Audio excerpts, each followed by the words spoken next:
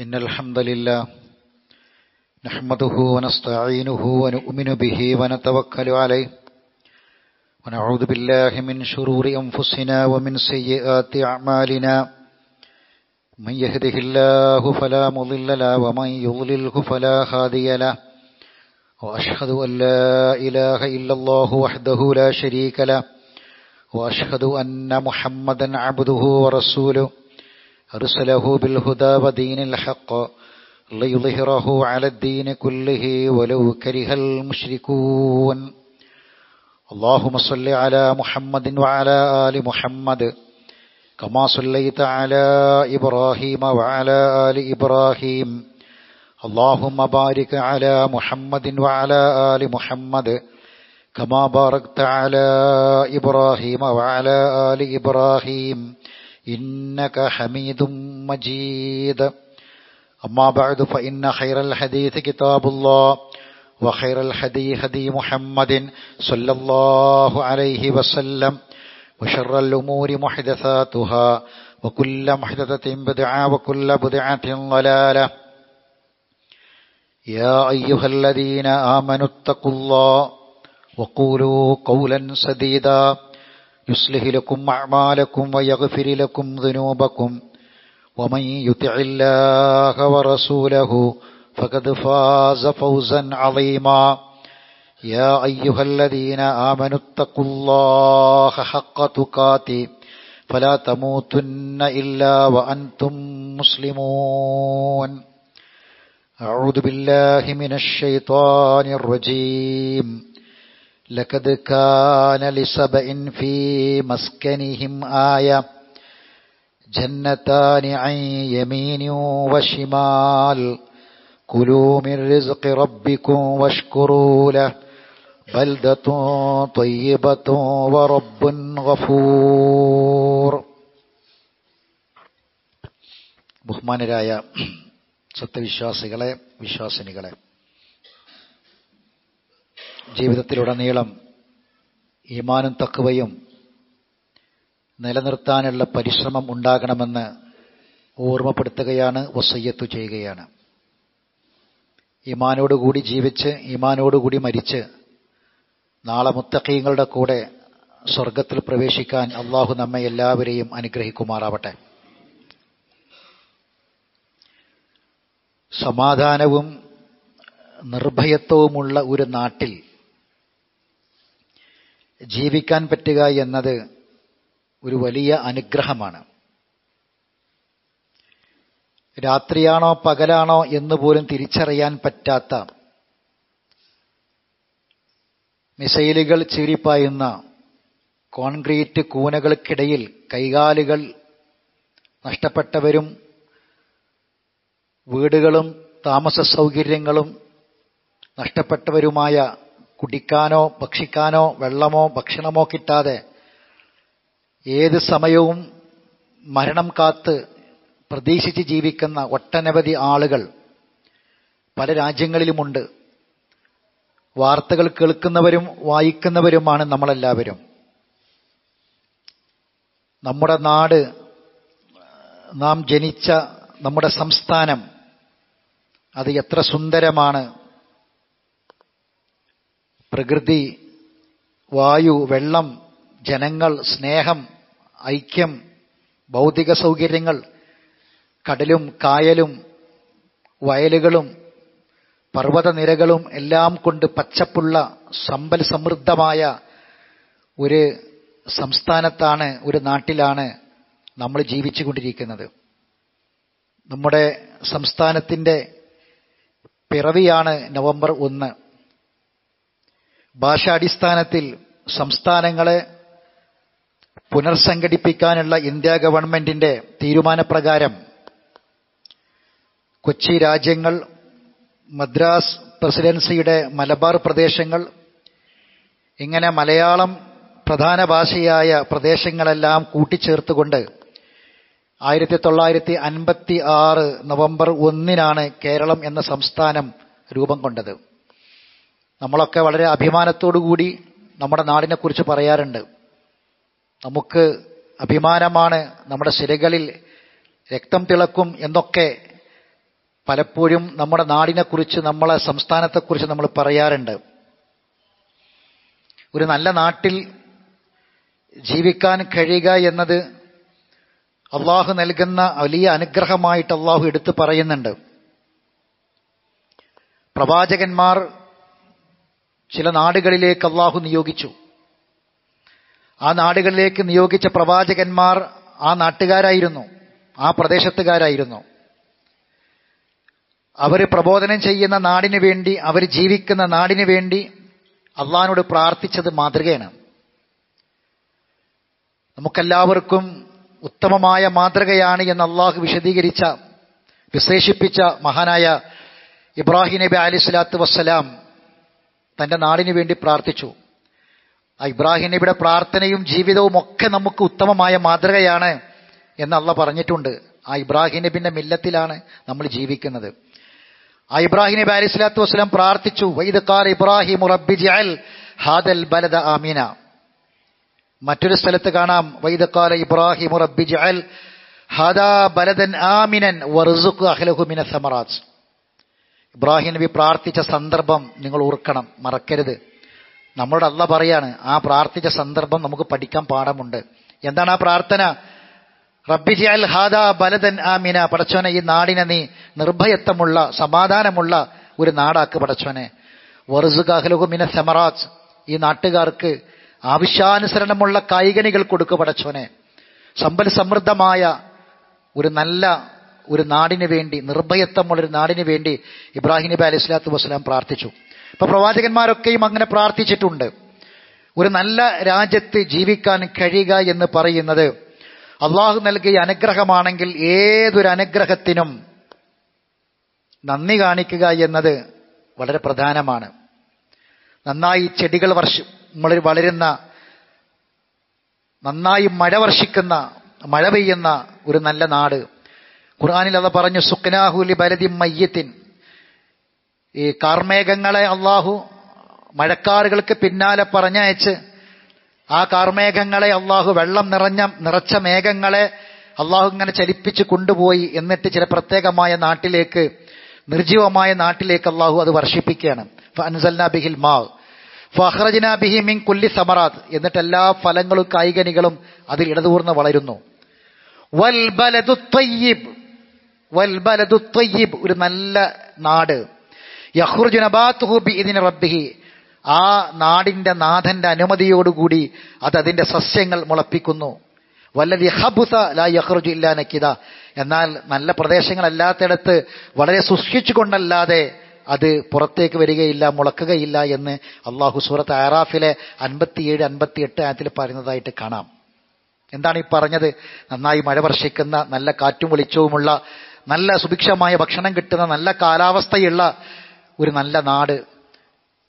ആളുകളൊക്കെ തേടി വരുന്ന കാണാൻ വരുന്ന അന്യ സംസ്ഥാനക്കാർ വരുന്ന അന്യ രാജ്യക്കാർ വരുന്ന പല രാജ്യത്തിന്റെ ലോകത്തിന്റെ പല ഭാഗങ്ങളിൽ നിന്ന് ഈ നാട് കാണാൻ വേണ്ടി ടൂറിസ്റ്റുകൾ ഒഴുകിക്കൊണ്ടിരിക്കുന്നു ഒരുപാട് നമ്മുടെ സംസ്ഥാനം അതിന്റെ പേരിൽ ഒരുപാട് വരുമാനമുണ്ടാക്കുന്നു. എങ്ങനെ പ്രകൃതി സുന്ദരമായ ഒരു നാട്ടിൽ നമ്മൾ ജീവിച്ചുകൊണ്ടിരിക്കുകയാണ്. അള്ളാഹു താര ഇതുപോലെയുള്ള മറ്റ് ചില നാടുകളെക്കുറിച്ച് നമ്മൾ അറിയിച്ചിട്ടുണ്ട്. എന്താണത്? സബഹ് ഗോത്രത്തെക്കുറിച്ച് അല്ല പറഞ്ഞു. ആ സബഹ് ഗോത്രത്തിന്റെ കഥ അല്ല പറയുന്നുണ്ട്. അത് പറഞ്ഞത് ഖുർആാനിലാണ്. നമ്മളോടാണ് അല്ല സംസാരിക്കുന്നത്. ലക്കത് കാനലി സബ ഇൻ ഫി മസ്കനിഹിം ആയ. തീർച്ചയായും സബ് ദേശക്കാർക്ക് അവരുടെ അധിവാസ കേന്ദ്രത്തിൽ തന്നെ ദൃഷ്ടാന്തങ്ങൾ ഉണ്ടായിരുന്നു. ജന്നത്താനി ഐ യമീനും വഷിമാലിൻ ഇടതുഭാഗത്തും വലതുഭാഗത്തുമായി രണ്ട് തോട്ടങ്ങൾ. ആ നാട്ടിന്റെ സമൃദ്ധിയാണ് പറഞ്ഞത്. അല്ല പറഞ്ഞു കുരുമി റിസ്ക് റബ്ബിക്കും. നിങ്ങളെ റബ്ബിന്റെ നിങ്ങളെ നാഥന്റെ റിസക്കിൽ നിന്ന് നിങ്ങൾ ഭക്ഷിക്കുക. പഷ്കുറു ലഹു നന്ദി കാണിക്കണം. നന്ദി കാണിക്കണം. ഇത്രയും നല്ല നാട്ടിൽ ജീവിക്കുന്നു. നിങ്ങൾക്ക് നല്ല സുഭിക്ഷമായ റിസക്കല്ല ഈ നാട്ടിൽ ഇറക്കി തന്നിട്ടുണ്ട്. നന്ദി കാണിക്കണം. ബലതുൻ ബൽദത്തൻ ബൽദത്തുൻ ത്വയ്യിബ ബൽദത്തുൻ ത്വയ്യിബ ഒരു നല്ല നാട്. വറബുൻ ഗഫൂർ പൊറുക്കുന്ന ഒരു റബ്ബും. പിന്നെന്താ വേണ്ടത്? ഒരു നല്ല നാട്. ആ നാടിന്റെ റബ്ബാണെങ്കിൽ നിങ്ങൾ തിന്മകളൊക്കെ ചെയ്ത പൊറത്തു തരുന്ന റബ്ബ് വറബുൻ ഗഫൂർ. അള്ളാഹു സുബാനുവത്താല ഇത് എടുത്തു പറഞ്ഞത് ഒരു രാജ്യത്തെക്കുറിച്ച് പറഞ്ഞത്. ഇതുപോലെയുള്ള നാടുകൾക്കൊക്കെയും പഠിക്കാനാണ്. എങ്കിൽ സഹോദരങ്ങളെ അള്ളാഹുത്താല തന്ന ഈ സമ്പൽ സമൃദ്ധമായ ഈ നാട്ടിൽ ഇതൊക്കെ തകർന്നുകൊണ്ടിരിക്കുന്ന ഒരു കാഴ്ചക്ക് നമ്മളൊക്കെ സാക്ഷികളാണ്. ഇന്ന് നമ്മളെ പറയുന്നത് പോലെ എന്നും സമ്പൽ സമൃദ്ധമല്ല എന്നും അതിന് മാത്രമൊന്നും പൊലിമ നമ്മളെ സംസ്ഥാനത്തിനില്ല എന്നും ഏറെക്കുറെ നമ്മൾ പൊലിമ പറഞ്ഞതും വലിപ്പം പറഞ്ഞതൊക്കെ ഇല്ലാതെയായിക്കൊണ്ടിരിക്കുന്നു എന്നതും എല്ലാം തകർന്നുകൊണ്ടിരിക്കുന്ന കാഴ്ചകളാണ് നമ്മൾ കാണുന്നത്. സമാധാനവും സന്തോഷവും നിർഭയത്വവും എല്ലാം തകരെയാണ് സഹോദരങ്ങളെ രണ്ട് കാര്യങ്ങൾ പ്രധാനമായുമുണ്ട്. ഇതേപോലെ അള്ളാഹു സമ്പൽ സമൃദ്ധി നൽകിയ നല്ല രാജ്യങ്ങൾ നല്ല നാടുകൾ ഉണ്ടായിരുന്നു. ആ നാടുകൾ പറ്റ നശിപ്പിക്കപ്പെട്ടു. ആ നാടുകൾ തകർക്കപ്പെട്ടു. ആ നാടിന്റെ എല്ലാ സമ്പൽ സമൃദ്ധിയും ഐശ്വര്യവും ഇല്ലാതെയായി. രണ്ട് കാരണമാണ് ആ രണ്ട് കാരണങ്ങൾ നമ്മളെ നാട്ടിലേക്കും വരുന്നുണ്ടോ എന്ന് നമ്മൾ ചിന്തിക്കണം. ഒന്നാമത്തെ കാരണം വിശ്വാസം തന്നെയാണ്. വിശ്വാസ തകർച്ചയാണ് അള്ളാഹുവിലുള്ള വിശ്വാസമാണ്. ഈ സൗകര്യങ്ങൾ ഒരുക്കി തന്ന റബ്ബിലുള്ള വിശ്വാസമാണ്. എങ്കിൽ അള്ള പറയാണ് ഇതുപോലെ മുൻകഴിഞ്ഞ നാടുകളിൽ അത് നശിപ്പിക്കപ്പെടാനുണ്ടായ ഒന്നാമത്തെ കാരണം വിശ്വാസ തകർച്ചയാണ് ഇന്ന് നമ്മുടെ നാട്ടിൽ ദൈവനിഷേധം വളർന്നു വരികയാണ്. ദൈവനിഷേധികളായ മതനിഷേധികളായ ഭൗതികവാദികൾ നിരീശ്വരവാദികൾ അത് ഏറി വരികയാണ്. മതം വിട്ട മതം വിട്ട ചെറുക്കനും മതം വിട്ട പെണ്ണും ഇന്ന് സംസാര വിഷയമാണ്. അതിങ്ങനെ വളർന്നു വരികയാണ്. മതം ഒഴിവാക്കുന്നവർ വർദ്ധിച്ചു വരികയാണ്. മത അവിശ്വാസത്തിലേക്കും മതനിഷേധത്തിലേക്കും പോയിക്കൊണ്ടിരിക്കുകയാണ്. അങ്ങനെ പോയതാണ് സമൃദ്ധമായ ചില നാടിന്റെ നാശത്തിന്റെ കാരണം എന്നുള്ള പറയാം. എന്ന് ആ കാരണം നമ്മളിവിടെ കാണുന്നുണ്ട്. അള്ള പറയുന്നു ലാ ബിലാദ്. ലാ നിന്നെ വഞ്ചിച്ച് കളയാതിരിക്കട്ടെ. തകല്ലുബുല്ലദീന കഫറു ഫിൽ ബിലാദ്. സത്യനിഷേധികൾ നാടിലെങ്ങും സത്യനിഷേധികൾ നാടുകളിലെങ്ങും സ്വൈരവിഹാരം നടത്തുന്നത് ഒരിക്കലും നിന്നെ വഞ്ചിതനാക്കി കളയരുത് എന്നുള്ള പറയാണ്. സത്യനിഷേധികൾ ദൈവനിഷേധികൾ അങ്ങനെ സ്വൈരവിഹാരം നടത്തുന്നുണ്ട്.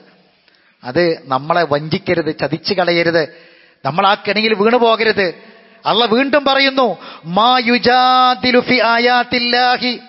ഇല്ലല്ലദീന കഫറു. അള്ളാന്റെ ദൃഷ്ടാന്തങ്ങളോട് നിഷേധികളല്ലാതെ തർക്കിക്കൂല.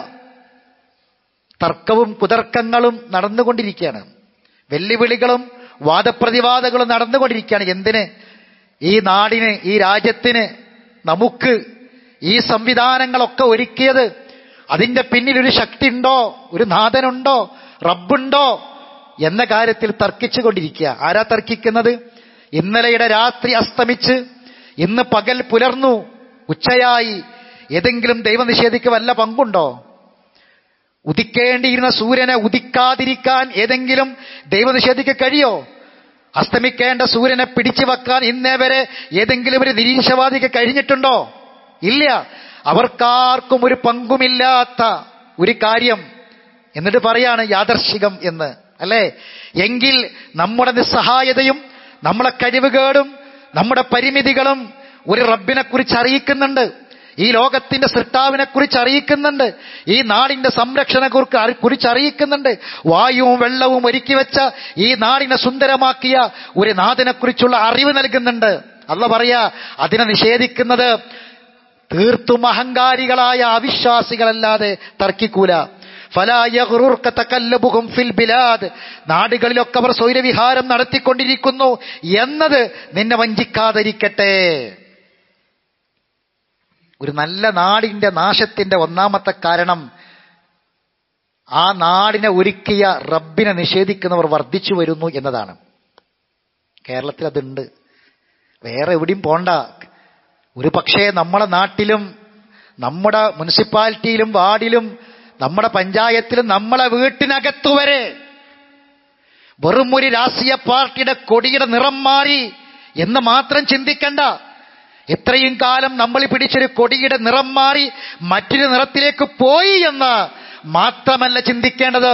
മറിച്ച് ദൈവനിഷേധത്തിന്റെ മതനിഷേധത്തിന്റെ മതനിരാസത്തിന്റെ ആശയങ്ങൾ ആദൃശ്യങ്ങൾ നെഞ്ചിലേറ്റിയിട്ട് ആ കൂട്ടായ്മയിൽ ചേർന്ന് അത് വിദ്യാഭ്യാസ രംഗത്ത് കലാലയങ്ങളിലും ക്യാമ്പസുകളിലും നമ്മുടെ വിദ്യാർത്ഥികളായ മക്കൾക്കിടയിൽ ദൈവനിഷേധം വളർന്നു വരുന്നു എന്ന് രക്ഷിതാക്കൾ ചിന്തിക്കുന്നില്ല എങ്കിൽ പ്രയാസങ്ങൾ ഉണ്ടാകും ഇപ്പൊ ഒരു നാടിന്റെ നാശത്തിന്റെ ഒന്നാമത്തെ കാരണം അതാണ്.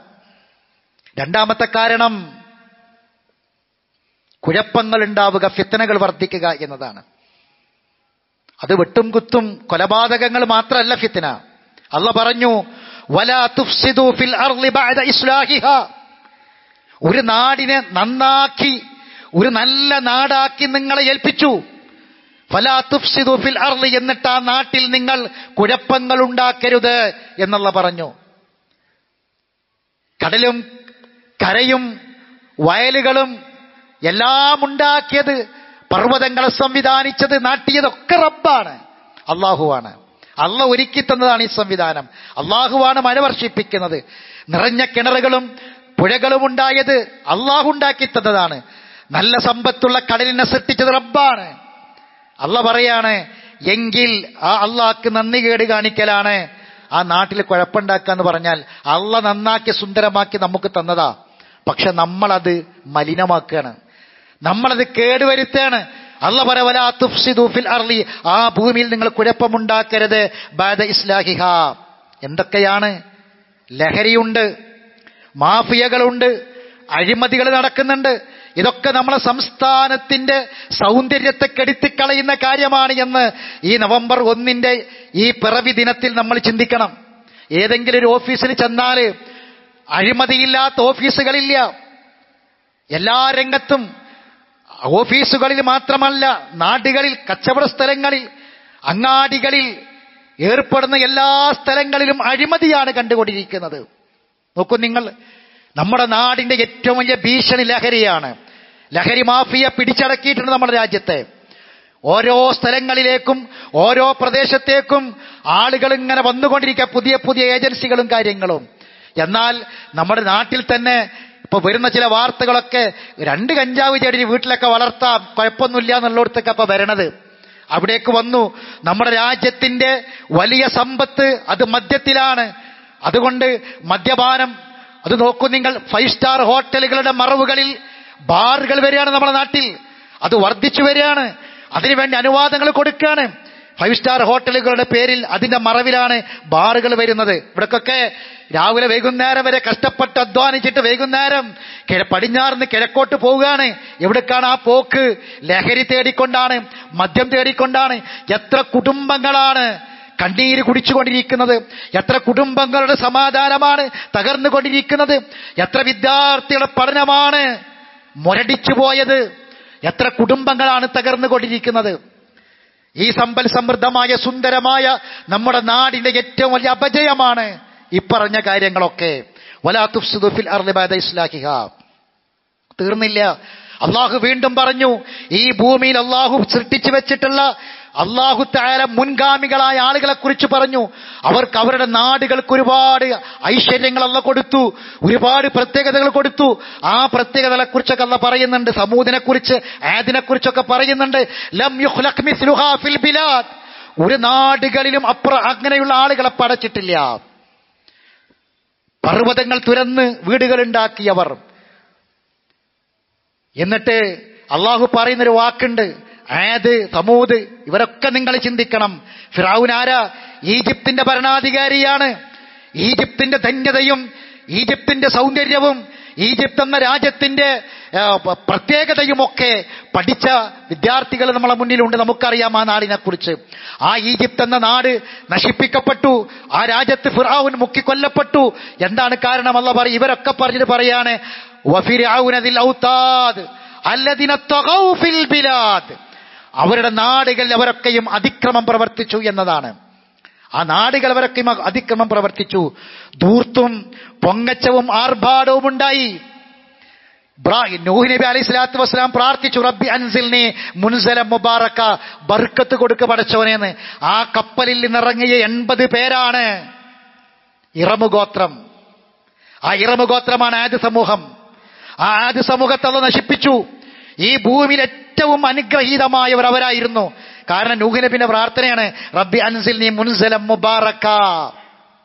ബർക്കത്ത് കിട്ടാൻ വേണ്ടിയിട്ട്. അല്ല കൊടുത്തു. നൂഹെ കപ്പലിൽ നിന്ന് ഇറങ്ങിക്കോ. സലാം സമാധാനവും ബർക്കത്ത് അനുഗ്രഹവുമായിട്ട് ഇറങ്ങിക്കോ എന്നല്ല പറഞ്ഞത്. അങ്ങനെ ഇറങ്ങിയാലാണ് ആര്? ആദുഗോത്രം. അത്ര ധന്യത വേറൊരു സമൂഹത്തിന് അത് കൊടുത്തിട്ടില്ല. ആലോചിക്കണം നമ്മൾ എന്തായിരുന്നു കാരണം എന്നറിയോ? ദൂർത്ത് പൊങ്ങച്ചം ആർഭാടം. ഇന്ന് നമ്മളത് കാണുകയാണ്. അല്ല പറയാണ് ദാത്തിൽ ഇറമദാത്തിൽ ഇറമ ദാത്തിൽ അഴിമത് തൂണുകളുടെ വലിയ തൂണുകളിൽ ഉണ്ടാക്കിയ കൊട്ടാരങ്ങൾ. അല്ലെ? ഇന്ന് നമ്മൾ കാണുന്നത് എന്താ? ഈ ദൂർത്തും ആർഭാടും പൊങ്ങച്ചൊക്കെ. ഉള്ളവന് കൊട്ടാരം ഉണ്ടാക്കുകയാണ്. ഉള്ളവൻ കൊട്ടാരം ഉണ്ടാക്കുകയാണ്. അവന്റെ ഒരു ഗേറ്റിന് ഗേറ്റിന് വെച്ച ഫ്രെയിം ഉണ്ടല്ലോ ആ കോൺക്രീറ്റിന്റെ പൈസ ഉണ്ടായിരുന്നെങ്കിൽ ഒരു പാവപ്പെട്ടവന് ഒരു നല്ല പെരണ്ടാക്കിയിരുന്നു ആലോചിക്കണം. ഉള്ളവനൊക്കെയും ദൂർത്തടിക്കുകയാണ് കല്യാണങ്ങൾ സൽക്കാരങ്ങൾ അതിന്റെ പേരിൽ നടക്കുന്ന ദൂർത്തുകൾ പൊങ്ങച്ചങ്ങൾ. സോഷ്യൽ മീഡിയകളിൽ ആങ്കർമാരെ കൊണ്ടുവന്ന് അത് ഷൂട്ട് ചെയ്ത് അത് പ്രചരിപ്പിക്കുന്നു. ആളുകൾ കാണാൻ വേണ്ടിയിട്ട് കോടികൾ മുടക്കിയ കല്യാണം. ഇങ്ങനൊരു കല്യാണം ഞാൻ കണ്ടിട്ടില്ല. ഇങ്ങനൊരു ഭക്ഷണം ഞാൻ കണ്ടിട്ടില്ല. എന്ന് പറഞ്ഞിട്ട് ഉള്ളവന്റെ ദൂർത്തും പൊങ്ങച്ചവും ആർഭാടവും അത് ജനങ്ങളെ കാണിക്കാൻ പട്ടിണിപ്പാവങ്ങളെ കാണിക്കാൻ. ഇതൊക്കെ വർദ്ധിച്ചു കൊണ്ടിരിക്കുകയാണ്. ഇതൊക്കെ ഈ നാടിന്റെ ശാപമാണ് സഹോദരങ്ങളെ. വാക്തറൂഫി ഹൽഫസാദ് അങ്ങനെ കുഴപ്പങ്ങൾ വർദ്ധിപ്പിച്ചു. സബ് ഗോത്രത്തെക്കുറിച്ചല്ല പറഞ്ഞു. മുൻഗാമികളായ സമൂഹത്തെക്കുറിച്ചല്ല പറഞ്ഞു. അവിടെയൊക്കെ അല്ല പറഞ്ഞൊരു കാര്യമുണ്ട്. എന്താണ്? വഷ്കുറു ലഹു. നന്ദി കാണിക്കണം. നന്ദി കാണിക്കണം. നന്ദി കേട് കാണിക്കരുത്. നന്ദി കേട് കാണിച്ചാൽ നശിപ്പിക്കപ്പെടും എന്ന് അള്ളാഹു പറഞ്ഞിട്ടുണ്ട്. സബ് ഗോത്രത്തിന്റെ കഥയാണ് നമ്മൾ വായിച്ചത്. അവിടെ ഒരു വലിയ ഡാം ഉണ്ടായിരുന്നു. ആ രാജ്യത്തിന്റെ സമ്പൽ സമൃദ്ധിക്ക് കാരണം ഒരു വലിയ ഡാമായിരുന്നു. ആ ഡാമിന് അള്ളാഹു തകർത്തു എന്നാ ഖുർആൻ അല്ല പറഞ്ഞത്. മഗ്രിബ് അണക്കെട്ട്. ഒരു വലിയ ഡാമിന്റെ തകർച്ച ഒരു വലിയ ഡാമിന്റെ തകർച്ച ആ നാടിന്റെ തകർച്ചയ്ക്ക് കാരണമായി. നമ്മൾ മനസ്സിലാക്കണം.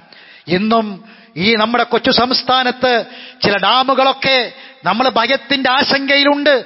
അത് പൊട്ടിത്തകർന്നാൽ ഈ സംസ്ഥാനം തന്നെ ഇല്ലാതെയാകുമെന്ന് പലരും പറയുന്നു. ആ ബേജാറിൽ ജീവിക്കുന്നവരാണ് നമ്മൾ അല്ലെ? എങ്കിൽ അല്ല പറയാ ഒരു ഡാമിന്റെ തകർച്ചയെക്കുറിച്ച് നമ്മളെ ഓർമ്മപ്പെടുത്തുകയാണ്. അള്ളാഹു പറഞ്ഞു.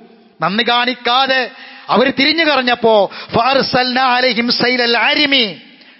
ആ നാടിന് നേരെ നാം അണക്കെട്ടിൽ നിന്നുള്ള ജലപ്രവാഹത്തെ നാം അവർക്ക് നേരെ തിരിച്ചുവിട്ടു. ആ പ്രാചീന കാലത്ത് യമനിലുണ്ടായിരുന്ന സബ് ഗോത്രത്തിന്റെ ആ മകരീബ് അണക്കെട്ടിന്റെ നാശത്തെക്കുറിച്ചാണ് അള്ളാഹു ആയത്തിൽ പ്രസ്താവിച്ചത്. എന്നിട്ട് അള്ള ചോദിക്കുന്ന ഒരു ചോദ്യമുണ്ട്. ആ ചോദ്യം വളരെ ശ്രദ്ധേയമാണ്. വഹൽ നുജാസി ഇല്ലൽ കഫൂർ. കടുത്ത നന്ദികേട് കാണിക്കുന്നവന്റെ നേരെയല്ലാതെ നാം ശിക്ഷാ നടപടി എടുക്കുമോ? അവ ചോദിക്കുകയാണ്.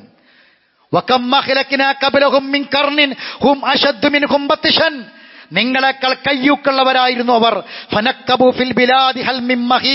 നാടുകളിലാകെ ചികഞ്ഞു നോക്കിയവർ രക്ഷ പ്രാപിക്കാൻ വല്ല ഇടവുമുണ്ടോ? രക്ഷപ്പെടാൻ വല്ല മാർഗവുമുണ്ടോ? എന്നവർ ചികഞ്ഞു നോക്കി. പക്ഷെ അവർക്കത് കാണാൻ കഴിഞ്ഞില്ല. ഈ സഭഗോത്രത്തിന്റെ കഥ പറഞ്ഞിട്ട് അവസാനം അത് അവസാനിപ്പിക്കുന്നത് ഇങ്ങനെയാ ഇങ്ങനെയാണ്. ഈ ആയത്താണ് ഈ നമ്മുടെ ഇന്നത്തെ നമ്മൾ ജീവിക്കുന്ന നാടിനെക്കുറിച്ച് പറയാൻ ഈ അനുഗ്രഹത്തെ ഓർമ്മപ്പെടുത്താൻ സഭഗോത്രത്തിന്റെ കഥ പറയാൻ കാരണം ഇതാണ്.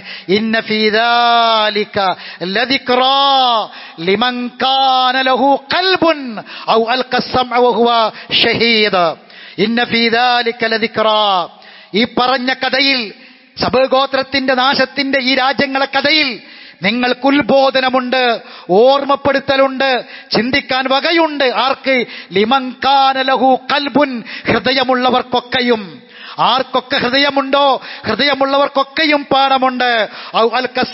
ഷഹീദ് മനസ്സാന്നിധ്യത്തോടെ ചെവി കൊടുത്ത് കേൾക്കാൻ ആരൊക്കെ തയ്യാറാകുമോ? അവർക്കൊക്കെയും ഈ പറഞ്ഞ കാര്യത്തിൽ പാഠമുണ്ട് എന്നാണ്. ആലോചിക്ക സഹോദരങ്ങളെ ഒരു നല്ല നാട്ടിൽ ജീവിച്ചിട്ട് ഈമാനോടുകൂടി ജീവിച്ച് ഈമാനോടുകൂടി മരിക്കാൻ നമുക്ക് സാധിക്കണം. മരിക്കുന്ന സമയത്ത് മലക്കൾ ചോദിക്കുന്ന ഒരു ചോദ്യമുണ്ട്. ഏത് നാട്ടിൽ താമസിക്കുന്ന ജീവിച്ച മനുഷ്യനോടും അവന്റെ ആയുസ് അവസാനിക്കുമ്പോൾ പടച്ചോൻ ചോദിക്കുന്ന ഒരു ചോദ്യമുണ്ട്. എന്താണ് ആ ചോദ്യം? മലക്കൾ ചോദിക്കും ഫീമ കുൻത്തും ഈ നാട്ടിൽ നിങ്ങൾ ജീവിച്ചപ്പോൾ നിങ്ങളുടെ നിലപാട് എന്തായിരുന്നു ചില ആളുകൾ പറയും ഞങ്ങൾ മുസ്തഫീങ്ങളായിരുന്നു ദുർബലരായിരുന്നു. അള്ള പറ ചോദിക്കാൻ പറഞ്ഞ ചോദ്യമുണ്ട് മലക്കുകളോട്. അലം തക്കുൻ അർലുല്ലാഹി വാസി അള്ളാന്റെ ഭൂമി വിശാലമായിരുന്നില്ലേ? എന്തേ നിങ്ങൾക്ക് അവിടേക്ക് ഹിജറ പോകാൻ കഴിയാതിരുന്നത്? ഹിജറ പോയിക്കൂടെ? അള്ളാഹുവിന്റെ നാട് വിശാലമായിരുന്നില്ലേ? ഇങ്ങനെ ഒരു ചോദ്യം നമ്മളോട് സഹോദരങ്ങളെ അങ്ങനെ ചോദിക്കേണ്ട മറുപടി പറയേണ്ട ഒരു ഘട്ടം ഈ നാട്ടിൽ നമുക്കില്ലല്ലോ ഉണ്ടോ? നമ്മൾ ആശയം അനുസരിച്ച് ജീവിക്കാൻ സ്വാതന്ത്ര്യമുള്ള നാട്ടിലാണ്. നമ്മുടെ ആശയം പ്രബോധനം ചെയ്യാൻ സ്വാതന്ത്ര്യമുള്ള നാട്ടിലാണ്. എല്ലാ നിലക്കും വിശ്വാസമനുസരിച്ച് ജീവിക്കാൻ സൗകര്യമുള്ള നാട്ടിലാണ്. അള്ളാഹുവിന്റെ ഭവനങ്ങൾ ഉണ്ടാക്കാൻ അനുമതിയുണ്ട്. മദർസകൾ നടത്താൻ അനുമതിയുണ്ട്. എല്ലാം അനുമതിയുള്ള ഒരു ഒരു ഒരു സംസ്ഥാനത്താണ് നമ്മൾ ജീവിച്ചുകൊണ്ടിരിക്കുന്നത്. എന്റെ നാട് വിട്ടു പോയിക്കൂടെ? ഹിജറ പോയിക്കൂടായിരുന്നോ? എന്ന് ചോദിക്കേണ്ട അവസ്ഥ നമുക്കില്ലല്ലോ. എങ്കിൽ സഹോദരങ്ങൾ നമ്മൾ ആലോചിക്കണം. പല നാടുകളും പല നാടുകളിലും ജീവിക്കുന്ന ആളുകൾ പലായനം ചെയ്തു. കടലുകൾ കടലുകൾ കബറുകളായി പലർക്കും. കടലുകളിൽ കബറുകളായവർ പലരും പലായനം ചെയ്തവരാണ്. ആഫ്രിക്കൻ രാജ്യങ്ങൾ ആലോചിക്കണം നിങ്ങൾ. ഒരു തോണിയിൽ പത്താൾക്ക് കയറാൻ പറ്റിയ തോണിൽ നൂറാൾ കയറി നൂറാൾക്ക് കയറാൻ പറ്റിയ ബോട്ടിൽ ആയിരം ആളുകൾ കയറി. എന്നിട്ട് പാലായനം ചെയ്ത് ഉള്ളതും ഉള്ള തടിയും വസ്തുക്കളുമായി രക്ഷപ്പെടാൻ ശ്രമിച്ചു. പക്ഷേ കടലുകളിൽ തോണികളും ബോട്ടുകളും മറിഞ്ഞു പലരും മരണപ്പെട്ടു. പതിനായിരക്കണക്കിന് ആളുകളെ കബറുകൾ കടലായി മാറിയിട്ടുണ്ട്. പലായനം ചെയ്ത മുഹാജിറുകളുടേത്. പല രാജ്യങ്ങളിൽ നിന്നും ജീവിക്കാൻ സമാധാനമില്ലാഞ്ഞിട്ട് സ്വസ്ഥതയില്ലാഞ്ഞിട്ട് അല്ലേ? എങ്കിൽ ഇതൊക്കെ വെച്ച് ചിന്തിക്കുമ്പോ നമ്മൾ ജീവിക്കുന്ന നാട് എത്രമാത്രം സുന്ദരമാണെന്ന് ആലോചിക്കണം. അതുകൊണ്ട് ഒരു നല്ല വിശ്വാസിയായി ജീവിച്ചു മരിക്കാൻ പറ്റിയ വളക്കൂറുള്ള ഒരു മണ്ണിലാണ് ഞാനും നിങ്ങളും ജീവിച്ചുകൊണ്ടിരിക്കുന്നത്. അള്ളാഹിനെ ഓർക്കുക ഈ നാടിന്റെ നാഥനെ ഓർക്കുക റബ്ബിനെ ഓർക്കുക അവർ നന്ദി കാണിച്ച് ജീവിക്കുക. അള്ളാഹു നമ്മെ അനുഗ്രഹിക്കുമാറാവട്ടെ. അക്കൂലു അലീം അലി വലക്കും ഗഫൂറുർ റഹീം.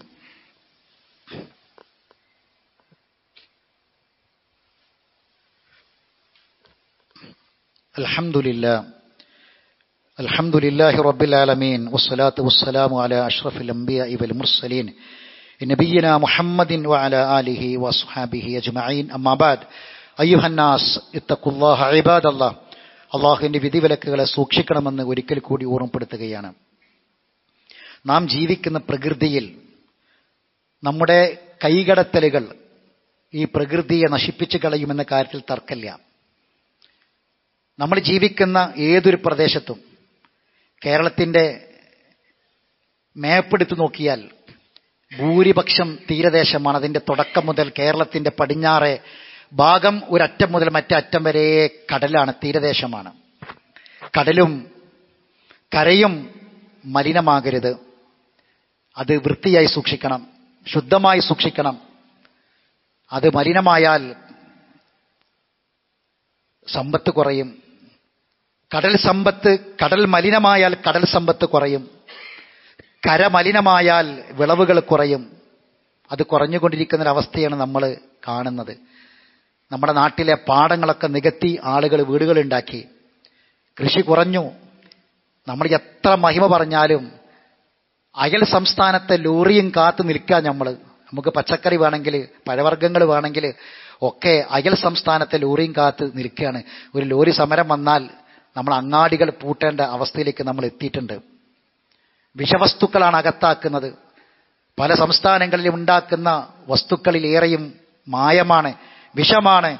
ആ വിഷമയമായ വസ്തുക്കൾ അകത്താക്കി രോഗങ്ങൾ വർദ്ധിച്ചു വരികയാണ്. കേരളത്തിൽ ക്യാൻസർ വർദ്ധിക്കുകയാണ്. ഏറ്റവും കൂടുതൽ നമ്മുടെ ഈ സംസ്ഥാനത്ത് ആരോഗ്യപരമായ രംഗത്തുള്ള ഏറ്റവും വലിയ വെല്ലുവിളി രോഗവർദ്ധനവാണ്. ആ രോഗങ്ങൾ ഏറ്റവും വേദനാജനകമായ മരിക്കണത് വരെ ബോധമുണ്ടാകുന്ന വേദന സഹിച്ച് അങ്ങനെ ആയുസ് തീർക്കേണ്ട ക്യാൻസർ എന്ന മാരാ രോഗം വർദ്ധിച്ചു വരികയാണ്. വെള്ളം മലിനമാണ് കുടിവെള്ളം മലിനമാണ്. കഴിഞ്ഞ ദിവസം തലശ്ശേരിയിൽ തളിപ്പറമ്പിൽ ഒരു മുവഹിദായ ഒരു മനുഷ്യന്റെ ചെറുപ്പക്കാരായ രണ്ട് മക്കൾ ജേട്ടനും അനുജനും തലേന്നും പിറ്റേന്നുമായിട്ട് മരിച്ചു. ചെറുപ്പക്കാരാ മഞ്ഞപ്പിത്തം. അതായിരുന്നു രോഗം. മഞ്ഞപ്പിത്തം വർദ്ധിച്ചത് പരിധി വിട്ട ഏത് സൂപ്പർ സ്പെഷ്യാലിറ്റി ആശുപത്രികൾക്കും രക്ഷിക്കാൻ കഴിയില്ല സഹോദരങ്ങളെ. അപ്പോ വെള്ളം അത് മലിനമായിക്കൊണ്ടിരിക്കുകയാണ്. കുടിവെള്ളം ശ്രദ്ധിക്കണം സൂക്ഷിക്കണം. നല്ല വെള്ളം തിളപ്പിച്ച് ചൂടാറിയ വെള്ളം നമ്മളെ മക്കൾക്ക് കൊടുക്കണം. നമ്മുടെ നാട്ടിലെ നമ്മുടെ സംസ്ഥാനത്തിലെ ഏറ്റവും വലിയ പ്രത്യേകതയാണ് കടൽ തീരത്ത് പോലും ശുദ്ധമായ പച്ചവെള്ളം കിട്ടുന്നു എന്നുള്ളത് പടച്ചോന്റെ സൃഷ്ടിപ്പ. ഉപ്പ് നിറഞ്ഞ കടൽ വെള്ളത്തിന്റെ അതിന്റെ ഏതാനും മീറ്ററുകൾ അപ്പുറത്ത് ശുദ്ധമായ പച്ചവെള്ളം പടച്ചോ ഉണ്ടാക്കി വെച്ചിട്ടുണ്ട് പരസ്പരം കൂടിക്കലരാതെ ഹുവല്ലദീ മറജൽ ബഹ്റൈൻ هذا عذب فرات وهذا ملح أجاج وجعل بينهما برزخا അതിശക്തമായ കയ്പുള്ള ഉപ്പ് ജലം ഉപ്പിന്റെ അംശം പോലും ഇല്ലാത്ത പച്ചവെള്ളം അതിനിടയിൽ പടച്ചനൊരു മറ വെച്ചിട്ടുണ്ട്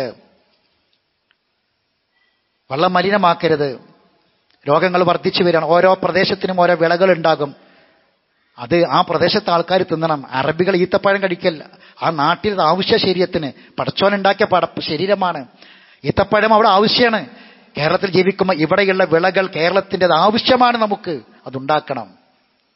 പറഞ്ഞു വരുന്നത് സഹോദരങ്ങളെ റബ്ബ് നമ്മളെ പടച്ചു. ജീവിക്കാൻ ആവശ്യമായ പ്രകൃതിയെയും തന്നു. ഈ ഭൂമിയിലല്ലേ നമ്മൾ ജീവിക്കേണ്ടത്? റബ്ബ് തന്ന പ്രകൃതിയും ഭൂമിയും സുന്ദരമാണ്. നമ്മളാണ് ഇതൊക്കെ നശിപ്പിച്ചുകൊണ്ടിരിക്കുന്നത്. അതിനെക്കുറിച്ചുള്ള ഒരു ഓർമ്മയും ഒരു ചിന്തയും നമുക്കുണ്ടാകണം. നല്ല ശരീരം ജസദുൻ തൊയ്യബ നല്ല തൊയ്യബായ ശരീരം. നഫ്സുൻ തൊയ്യബ നല്ല ആത്മാവ്. ബൽദത്തുൻ തൊയ്യബ നല്ല ഒരു നാട്. കുലു മിന തൊയ്യബാത്ത് തൊയ്യബാത്തുകളിൽ നിങ്ങൾ ഭക്ഷിക്കുക അല്ല പറഞ്ഞു. സഹോദരങ്ങളെ അത് കണ്ടെത്താൻ നമുക്ക് സാധിക്കണം. അള്ളാഹു നമ്മെ അനുഗ്രഹിക്കുമാറാവട്ടെ. അറിവില്ലായ്മയോട് വന്നുപോയ തെറ്റുകുറ്റങ്ങൾ അള്ളാഹു വിട്ടുപുറത്ത് മാഫാക്കി തരട്ടെ. മരണപ്പെട്ടവർക്ക് അള്ളാഹു മഹഫറത്തും മർഹമത്തും പ്രദാനം ചെയ്യുമാറാവട്ടെ. ആശുപത്രികളിലും വീടുകളിലുമുള്ളവരുടെ അള്ളാഹു രോഗശമനം പ്രദാനം ചെയ്യട്ടെ. നമ്മുടെ ഒരു ഖുർആൻ പഠിതാവായ ഒരു സഹോദരി ഖുർആൻ പഠിക്കാൻ വരാൻ കഴിയാത്ത വിധം ശരീരത്തിലെ തൊലിക്ക് വന്നിട്ടുള്ള രോഗം കാരണം അവർക്ക് ക്ലാസ്സിനൊന്നും വരാനോ വസ്ത്രം ധരിക്കാനോ പറ്റാത്ത വിധത്തിലുള്ള പ്രയാസമുണ്ട് ദ്വാ ചെയ്യണമെന്ന് ആവശ്യപ്പെട്ടിട്ടുണ്ട്. അള്ളാഹു സുബാനു വത്തായാല ആ ഖുർആൻ പഠിതാവായ സഹോദരിക്ക് രോഗശമനം ശമനം പ്രദാനം ചെയ്യുമാറാവട്ടെ. അള്ളാഹു സുബാനുഭവത്തിലെ എല്ലാ വേദനയേറിയ പ്രയാസകരമായ ബുദ്ധിമുട്ടുണ്ടാക്കുന്ന എല്ലാ രോഗങ്ങളിൽ നിന്നും നമ്മളെയും നമ്മളെ പൊന്നുമക്കളെയും നമ്മുടെ മാതാപിതാക്കളെയും നമ്മുടെ സമൂഹത്തെയും നമ്മുടെ കുടുംബത്തെയും നമ്മുടെ നാടിനെയും അള്ളാഹു കാത്തുരക്ഷിക്കുമാറാവട്ടെ. അള്ളാഹു മുഹഫുലിൽ മുഅ്മിനീന വൽ മുഅ്മിനാത്ത് വൽ മുസ്ലിമീന വൽ മുസ്ലിമാത്ത് വഹിയാഹും മിൻഹും വൽ അംവാത്. ഇന്നക മുജീബു ദഅവാത്ത് യാ ഖാദിർ ഹജാത്ത് അല്ലാഹുമ്മ അജ്രിനാ മിനൻ നാർ. അല്ലാഹുമ്മ അഅതിഖ് റിഖാബനാ മിനൻ നാർ. അല്ലാഹുമ്മ ഇഷ്ഫി മർളാനാ വമർളൽ മുസ്ലിമീൻ. المسلمين. اللهم ارحم موتانا وموتى المسلمين. اللهم اعز الإسلام والمسلمين. وأذل الشرك والمشركين. ودمر أعداءك وأعداء الدين. ربنا آتنا في الدنيا حسنة وفي الآخرة حسنة وقنا عذاب النار. وآخر دعوانا أن الحمد لله رب العالمين.